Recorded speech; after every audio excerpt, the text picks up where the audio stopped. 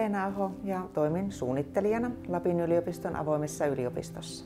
Aleksanteri Rahkonen ja myöskin toimin suunnittelijana avoimessa yliopistossa.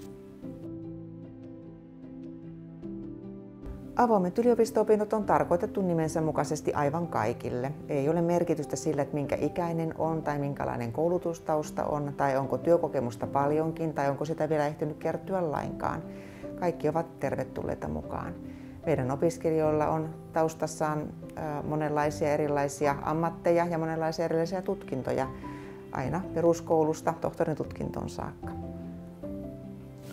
Kyllä ja erilaisia tavoitteita on myös. Eli meillä löytyy lukiolaisia, välivuotta pitäviä, tutkintotavoitteisia eli avoimen väylään tähtääviä opiskelijoita.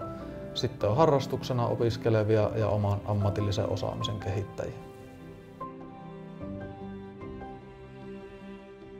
Autetaan ihan kaikesta opintojen aloittamisesta ja suunnittelusta lähtien ja miten se opiskelu käytännössä tapahtuu, mitä resurssointia se vaatii ja tämän tyyppisissä kysymyksissä muun muassa.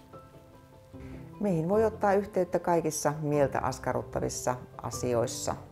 Et ei ole olemassa tyhmiä kysymyksiä, että mikä tahansa siinä ilmoittautumisprosessissa meidän opinnoissa nykyisissä meneillään olevissa tulevissa mietityttää tai haluaa lisätietoa, niin kaikesta, kaikesta voi kysyä ja me mielellään autamme.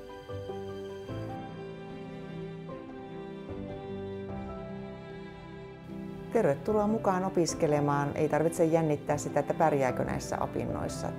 Kun opinnot kiinnostavat ja on motivaatiota opiskella, niin sillä pääsee jo hyvin pitkälle.